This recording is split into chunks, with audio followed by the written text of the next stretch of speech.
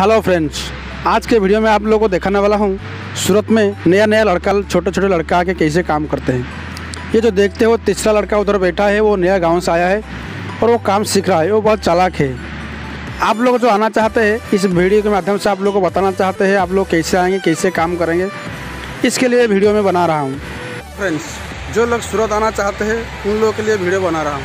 वो लोग कैसे आए और किसी की मदद से आए इसके लिए मैं वीडियो बना रहा हूँ। और अच्छा लगे तो please like, share and subscribe कर देना। जय जगन्नाथ। आप उम्र से अठारह हो या पच्चीस हो या पंद्रह हो, किसी भी उम्र का आदमी, लड़का इधर आके काम कर सकता है। मगर आप लोग कैसे आके काम करेंगे, इसके लिए वीडियो में बना रहा है। अब देखो आप काम के बारे में आपके लिए देखा रहा हूँ। इधर जो लड़का बैठा है, वो चार चार धागा दे रहा है उनको खींचने के लिए। देखो आप लोग देखा होगा दो दो धागा देता था, अभी चार चार धागा दे रहा है। इस प्रकार के काम है। और उधर जो बैठा है, वो खींच के लेता है। इधर जो काम करता है, इनको एक सौ चालीस रुपया मिलता है, एक भीम पसारने के लिए। और उधर जो खींचता है, उनको डेढ़ सौ रुपया मिलता है। और उधर जो तार खींच के लेता है ना, वो कैसे लेता है, वो भी आपको देखना पड़ेगा। वो बहुत ट्रिक का काम है। ये नहीं कि हर तार को ऐसे ले लेंगे कि वो चलो, मैं आपको लोगों को अभी दिखाएगा। अभी इधर देखो, अभी वो दो दो ले रहा है। ये जो लिखा हुआ ना, इसके हिसाब से वो लोग तार भीम पसारते हैं। वो लिखा हुआ है। कभी दो, कभी चार, कभी छः इसके हिसाब से वो काम करेंगे। अभी देखो, उस तरफ़ जो लड़का बेटा है, इस तरफ़, वो कैसे तार अपने तरफ़ खींचता है, देखो। वो जो तार निकलता है ना, उसको राज कहते हैं, राजा। राजपंथी कहते हैं। उसका अंदर दो दो होल है। वो उसके होल में तार लगाता है, वो उधर से दो दो तार या चार चार उनके देता है और उधर खींच लेता है। और कैसे वो राजपंथ में काम करता है, ये भी देख लो। ये राजपंथ छः है। एक, दो, तीन, चार, पाँच छः कौन सा कौन सा राजपंथ में वो खींचेगा, उसी को मालूम है। जो ये काम करता है, ये नहीं कि हर किसी भी तरह ले लेंगे, ऐसे नहीं। इसका सेटिंग है। उसको सिखा गया है।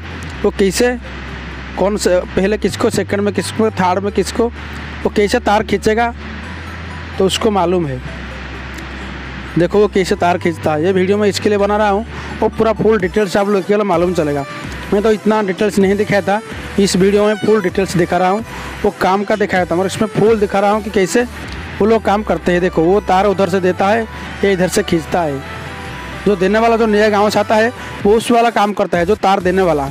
वो दो दो तार कैसे निकलेगा, इसको सिखाना है, जो नया गाँव से आएगा। और जो थोड़ा पुराना हो जाएगा तो उस तरफ़ वो बैठेगा। वो तार खींचने वाला। दिन में तीन, चार, पाँच तक भीम पसार लेते हैं। एक सौ चालीस उसका और डेढ़ सौ उसका। जितना उसका पैसा आएगा, वो दिन में उतना ही कमाएगा। पाँच सौ छः सौ, सात सौ तक हो सकता है। कभी कम होगा तो पाँच सौ तो कम से कम हो जाएगा। गाँव से छोटे छोटे लड़के इधर आके ये काम सीख लेते हैं। और उधर जो लड़का बैठा है, वो कैसे काम सीखते हैं, चलो देखते हैं।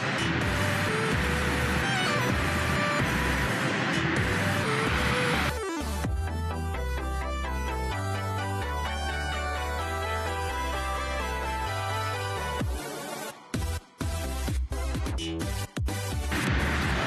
जो लड़का उधर बैठा है उनको धा, धागा दिया गया है। कैसे एक एक तार निकलेगा उसको सिखा जा रहा है देखो। क्योंकि वो तार निकल के देने में ट्रिक है ना। ऐसे नहीं कि दो तारों जैसे निकलना भी डिफ़िकल्ट है बहुत। वो कैसे तार निकल के उधर बढ़ाएगा इसके लिए उसको सिखा रहा है सिखा जा रहा है। उधर बैठा के उसको धागा दिया गया है। देखो ये जैसे निकलता है उसको ऐसे सिखा जा रहा है कि तू भी ऐसे दो दो निकल के देना पड़ेगा। वो लड़का बैठ के सीख रहा है। लड़का बहुत चालाक है। इधर उनका पिताजी है। उनका पिताजी इधर इधर ले आए उसको। पढ़ाई वढ़ाई कुछ हुआ नहीं गाँव में। गाँव में घूम रहा था। कुछ अच्छा पढ़ाई उसका हुआ नहीं। इसके लिए उधर उसको इधर ले आए। उसका पिताजी है। उनका घर का आजू बाजू का दो, दो लड़का काम करते हैं। वो उसको जानते हैं। इसके लिए उधर आके काम करता है। क्योंकि जो लोग आप जानते नहीं होगा उसके पास काम करने में थोड़ा दिक्कत आएगा। मगर अपने भाई या, या दोस्त के पास काम करोगे भेजने वाला तो आपको कोई दिक्कत नहीं आएगा।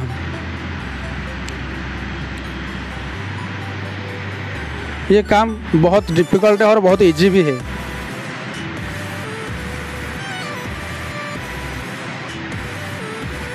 मेरे साथ एक लड़का आया था काम सीखने। वो बहुत मंदा था मतलब इतना चालाक नहीं था।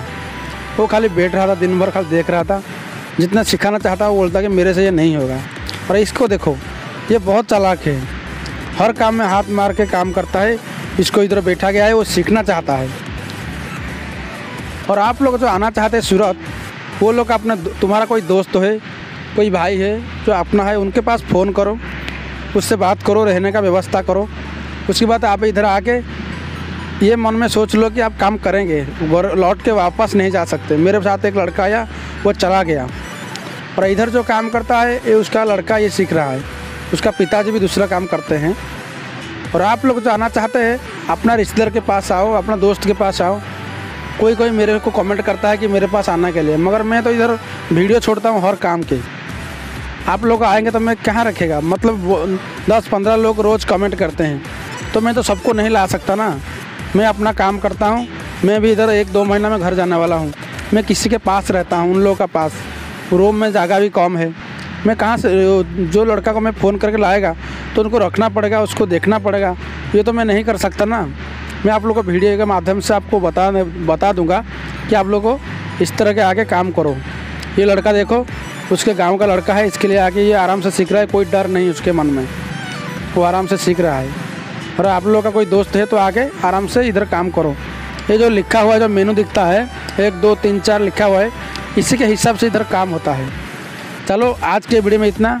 रखता हूँ। नेक्स्ट मिलेंगे। बाय बाय जय जगन्नाथ।